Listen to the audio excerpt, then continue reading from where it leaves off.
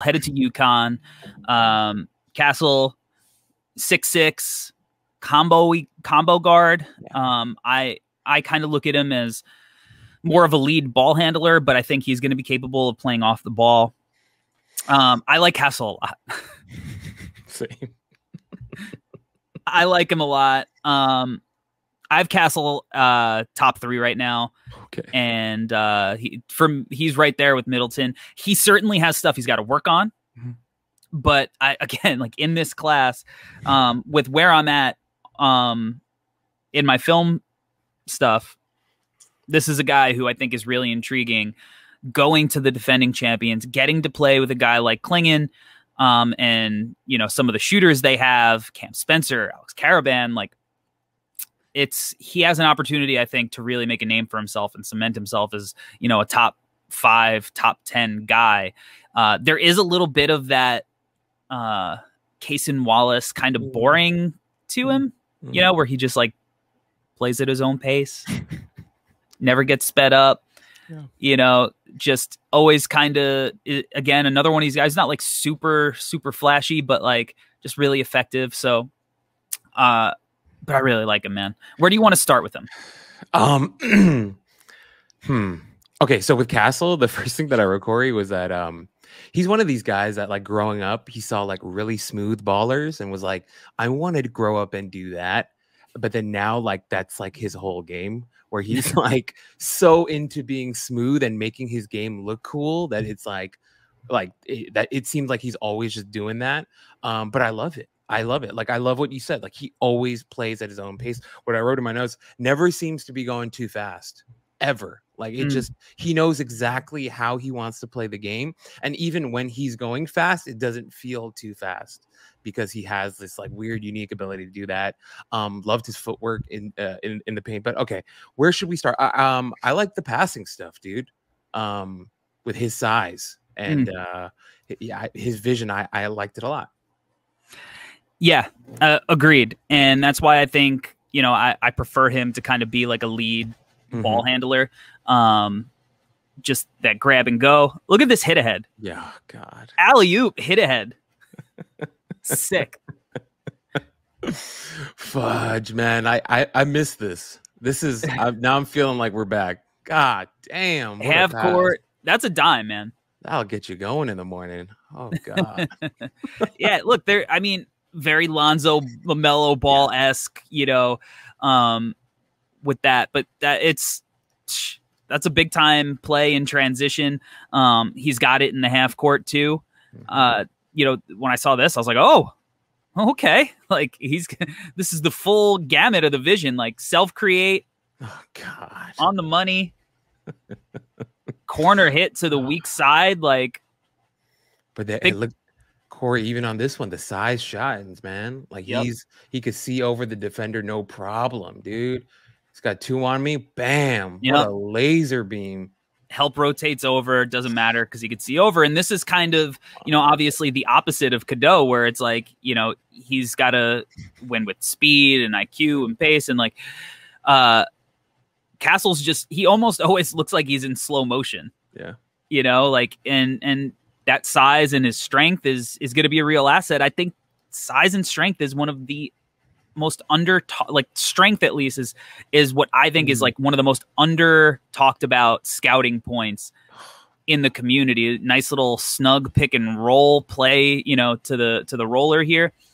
Uh and you know, he's got a good frame that's going to fill out and that size and strength that that I think is what we've seen allows guys to really um like contribute early. You know, that's why Scoot's going to be so good early on because he could physically handle. It's why Brandon Miller, as much as I love him, he might not be as effective at certain things early on because he, you know, that that strength isn't there yet. Um, and that's something that you got to be patient with with certain prospects. But when you can get a guy who can come in and contribute right away, you know, you have your Josh Giddey's who has that size and that frame, you know, to to come in and be effective right away.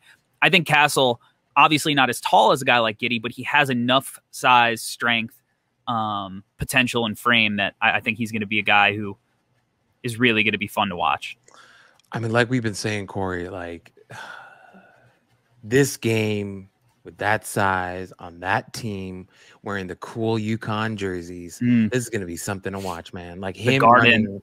Oh God, I can already see it, dude. He's gonna have some ESPN moments this season. We're playing with Clingan, dude, and, everything we're hearing about Clingan right now, how he's beefing up and getting stronger, getting ready for the new season. Supposedly added what 20, 25 pounds. It's a lot of pounds. God, that's I don't know of- if I don't know if they're good pounds or not. That's true. That, that sounds like a lot of poundage. Um, but um, you know, we'll see. But if it's good pounds, right, with a guy like Castle, and as you mentioned, the shootings that they have with Karaban and others, like it's you you can't help but get excited, man. And, and once again, like I just want to touch on like even on this pass, like the the on time on target stuff with him and Cadeau is really fun and exciting to watch. And and that's why with for me on my board right now once again my board is in shambles and it's just names but I do have him and Cadeau bunched up together. I like both of them almost equally right now. But you know as we're talking this out like it makes sense to probably have Castle higher simply because of the size and strength combination that you're talking about. Just look, it's he's looking over all of these guys. He's got clear vision of the whole floor being six foot six. That's great size for a lead ball handler, point guard ish guy, you know? So I'm right there with you, Corey. And the thing with, you know, even after the passing stuff, we'll get into like some of the scoring stuff, but, you know, that size continues to translate the smooth um, footwork and stuff that he has i- i- is really fun to watch. So I, I get it, man. He, he's, he's, he's great. Yeah, and you know, I think you could envision him throwing this pass to Ca- uh, Clingan. Yes. You know, it, uh, you touched on it. His ball placement on passes, I really like. Like he's he throws to space, he leads guys. Um, he can see over.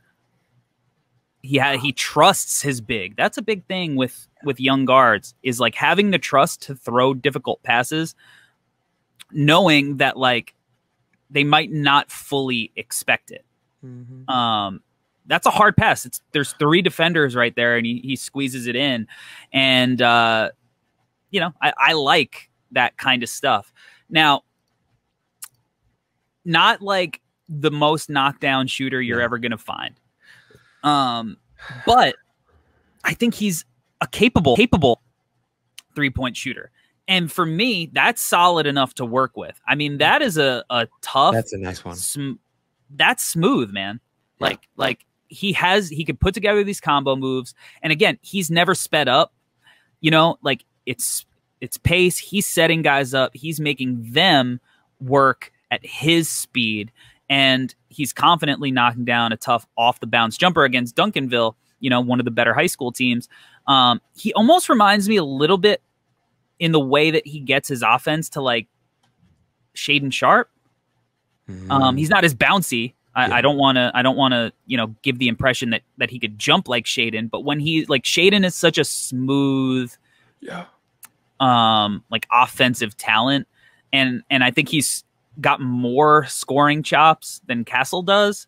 Um, you know, because of you know the um the athleticism difference, and I just think there's you know the shot is smoother, but there's something there with with Castle offensively as a a, a scorer as well. No, I'm with you, man. I, I- think especially in the in the clips that you're playing right here, you can start to see it. Um, I, I did notice though, Corey, on like deeper threes, he's doing some stuff with his feet. Mhm. Um, I thought that was just him kind of getting acclimated to the deeper range, him having to kind of muster some extra power there. Um, that you know, with more reps and him continuing to strengthen strengthen his lower half and his his his core, I think that'll come a little bit easier. But I, I'm with you, dude. I I think right now.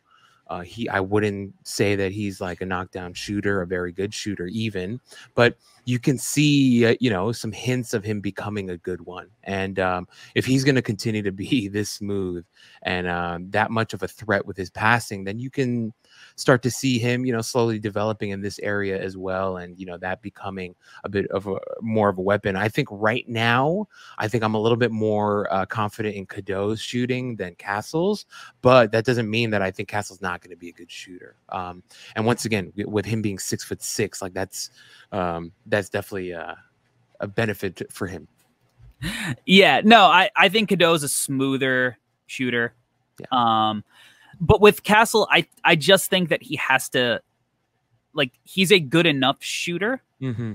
that um just the threat of of his offense is enough that like you still have to guard it you know and look eh, there's definitely some some shots that you go oh all right Yeah. like he's he's not like right there right like he's he's got some stuff um and because he's not super bursty you know because he's he plays at his own pace sometimes like when he doesn't get enough separation you know he could throw up some stuff that you're like ooh all right like let's get that one back Mhm. you know what I mean? Like this one, ISO squaring up uh, through the legs, a whole bunch of dribble, sidestep, and off the side of the backboard.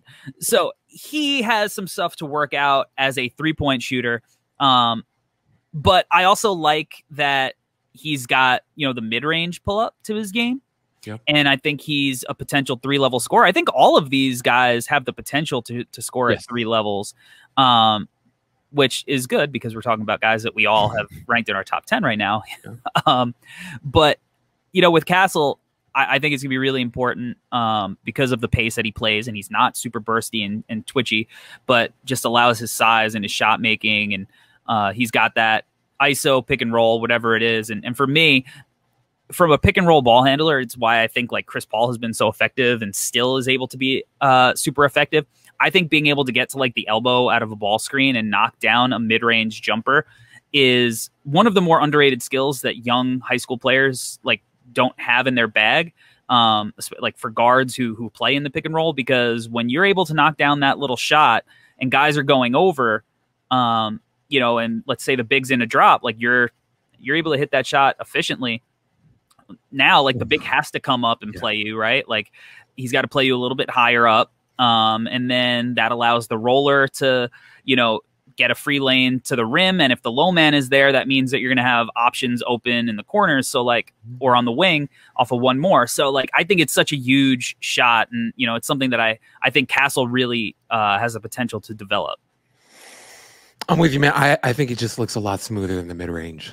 Um, Mm. I, I think you see it in the feet. Um, it's it's not he's not doing that thing where like his feet have to like come together at the end of it because you know he's trying to muster that extra strength. It looks very much within his range when he's taking these shots from the mid range. And as we've mentioned throughout, like the smoothness is what's helping him. Um, not the burstiest guy, but because of the pace that he plays with, it creates enough separation for himself in that area. And then once again, you know, at six six, you start to have more opportunities to hit this shot. So I'm right there with you, man. And with everything that you said, all right, leveraging all that and having that in your bag, the d- different opportunities that he could then create with his unbelievable passing um, ability, you start to get excited. So I'm right there with you. And then, you know, off of this, when he starts getting to the, I wanted to ask how you felt about, you know, him attacking the rim because I felt he's got some real good stuff going to the rim as well with his footwork and that like over the head snatch stuff. But Yeah. I, I really like him as a finisher. yeah. uh, the numbers don't necessarily bear it out as much as like you would want Mm-hmm. them to. Um, but I like how physical he is as a finisher. Like he's going through Ron Holland now. Like Ron Holland is for a lot of people is the number one prospect in this draft. Uh, he's somebody you liked a lot when we saw him live at, at Hoop Summit, and he's just kind of pushing him around like big boy. You know, like he, Holland can't stop. Uh, and he's not going fast. There's not a lot of momentum. He's got him pinned, you know, pretty far away, and just pace, and then like, let me just push him out of the way, finish through, and one. Um, so there's a lot to like. Now the numbers say from you know per synergy um, on the Under Armour circuit, he finished 46 percent in the half court. So like obviously there are times when the finishing kind of doesn't work when he can't really use that physicality to its full advantage. Uh, we'll see an example uh, of that on on this possession where it ultimately, you know, he doesn't have a ton. He, he makes a nice little move, but somebody's in the paint. He just kind of throws up Yeah. some junk. Yeah. Um. So I think eliminating some of this stuff, like he misses the read here, he forces that up, and if we pause it, um, as he gets a, a paint touch, Mhm. he's got that corner shooter, Yep. you know, Right and like instead he tries to get into the paint, draw some contact. Uh, so I, I, think you know, and it goes back to like he's not a perfect passer. Like that's a pass Cadeau makes, mm-hmm. but he missed it. So there's definitely some times where like, all right, he's he's got some work to do on the reads. But as far as the finishing goes, again, I, I think he's smooth. I think he's skilled. I think he's tough. And they're all traits that I think are going to allow him to be a good finisher. Here, yeah. crafty little footwork there, Yeah. Yeah. you know, with the kind of like reverse Euro Mhm. um, to get him to the rim. And the little hang hezzy, whoop, yeah. that's slick.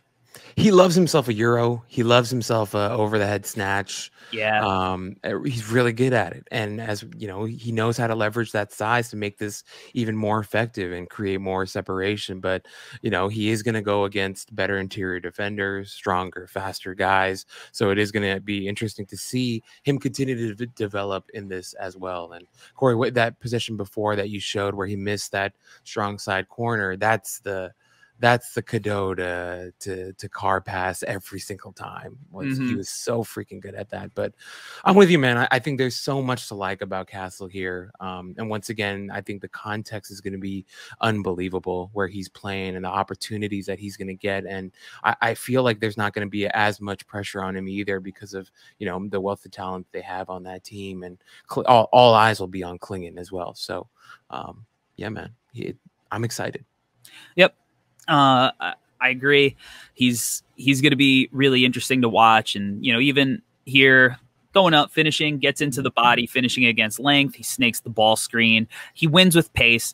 There's not a ton of vertical pop um, at all times, and that's something that you know you think might be able to hurt him, but he wins with just skill, pace, and the guys that he's going to be able to play off of. Um, I think when they get in the film room and you go back to that possession where he missed the shooter, like Cam Spencer's in that corner, like Mhm. when they get in film, they're be like, "Hey, you can't miss this pass because that's that's a layup." you know, like uh, your Karaban's in that corner, like, "Hey, open shot, nobody ten feet, that's a layup," and he'll learn. Um, but I think he's super intriguing.